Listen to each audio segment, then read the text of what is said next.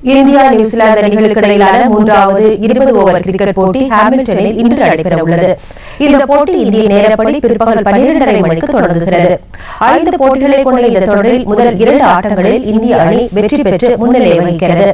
நான்காவது போட்டி நாளை மறுநாள் வெலிங்டனிலும் ஐந்தாவது மற்றும் இறுதிப் போட்டி வரும் இரண்டாம் தேதி மவுண்ட் மவுகனிலும் நடைபெற உள்ளன அதனைத் தொடர்ந்து மூன்று ஒருநாள் போட்டிகள் மற்றும் இரண்டு டெஸ்ட் போட்டிகளிலும் இரு அணிகளும் விளையாட உள்ளன